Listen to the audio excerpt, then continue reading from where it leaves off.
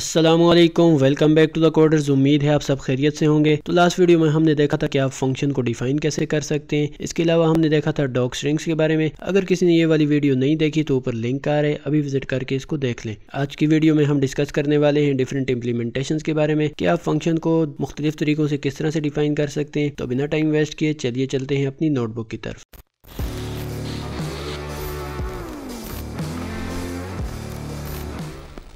तो अभी तक हमने डिस्कस कर लिया आर्गूमेंट्स के बारे में भी, और हमने देख लिया रिटर्न वैल्यू क्या होती है वैल्यू को रिटर्न कैसे किया जा सकता है। तो उसी को अगर देखा जाए तो हमारे पास कुछ ऐसे फ़ंक्शन होंगे जिसमें ना तो कोई आर्गूमेंट होंगे, ना ही रिटर्न वैल्यू होगी। उसी तरह कुछ ऐसे फ़ंक्शन भी हो सकते हैं जिसमें कुछ आर्गूमेंट्स होंगे लेकिन रिटर्न वैल्यू नहीं होगी, और कुछ ऐसे फ़ंक्शन भी हम बना सकते हैं जिसमें आर्गूमेंट्स नहीं होंगे लेकिन रिटर्न वैल्यू होगी, और कुछ ऐसे फ़ंक्शन भी हम बना सकते हैं जिसमें दोनों चीज़ें होंगी। तो बनाकर देख भी लेते हैं, हम एक सिंपल फ़ंक्शन को लेके चलते हैं। ऐसा फ़ंक्शन जो दो नंबर्स को ऐड करने वाले। तो सबसे पहले हम बना लेते हैं ऐसा फ़ंक्शन जो ना तो कोई आर्गूमेंट लेगा, ना ही कोई वैल्यू रिटर्न करेगा। तो यहाँ पर मैं बना लेता हूँ डेफ एडर और ये दो नंबर्स बल्कि नो आर्गूमेंट्स है तो कुछ भी आर्गूमेंट नहीं लेता। उसके बाद क्या करना पड़ेगा? नंबर्स अब यूज़र से ही लेने पड़ेंगे तो नम वन लिख लेते हैं। उसके बाद input function enter a number और फिर हमने कहा था ये एज अ स्ट्रिंग लेता है तो इसको टाइप कास्ट करना पड़ेगा। और फिर इसी को दोबारा नीचे पेस्ट कर लेता हूँ। नम टू में स्टोर कर लेते हैं इंटर एनदर नंबर तो ये दो नंबर्स जब आ जाएँगे हमारे पास तो एक और वेरिएबल बना लेंगे सम नाम का, और उसमें स्टोर कर दूँगा num one plus num two और फिर हमें सिंपली क्या कर देने प्रिंट करवा लेने इसका सम तो यहाँ पे मैं लिख लूँगा सम को। तो ये हमने देख ली पहली इम्प्लीमेंटेशन अब इसको मैं जैसे ही कॉल करता हूँ,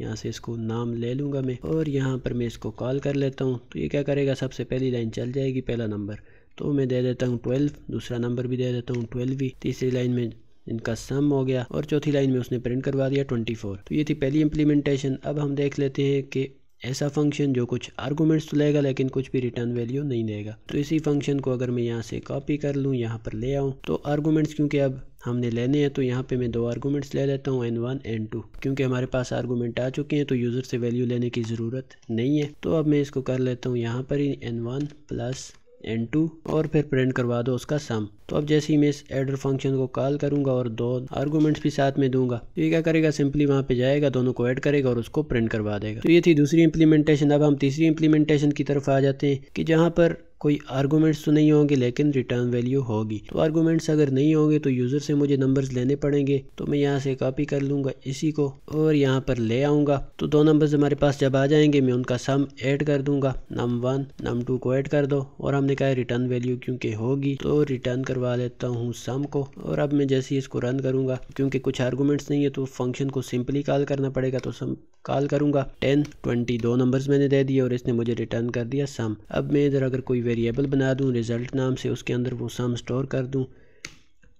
तो यहाँ पे मैं कर लेता हूँ टेन और ट्वेंटी और उसके बाद प्रिंट करवा लेता हूँ रिज़ल्ट को। तो जैसे ही प्रिंट करवाया, आप देख सकते हैं थर्टी आ चुका है। अब आखिरी इंप्लीमेंटेशन भी हम देख सकते हैं, ऐसा फ़ंक्शन जो आर्गूमेंट्स भी लेगा और कुछ वैल्यू भी रिटर्न करेगा। तो यहाँ पर मैं ले आता हूँ आर्गूमेंट्स दो ले रहे हैं एन वन एन टू उन दोनों को सम कर रहे हैं और प्रिंट करवाने के बजाय रिटर्न कर रहे हैं।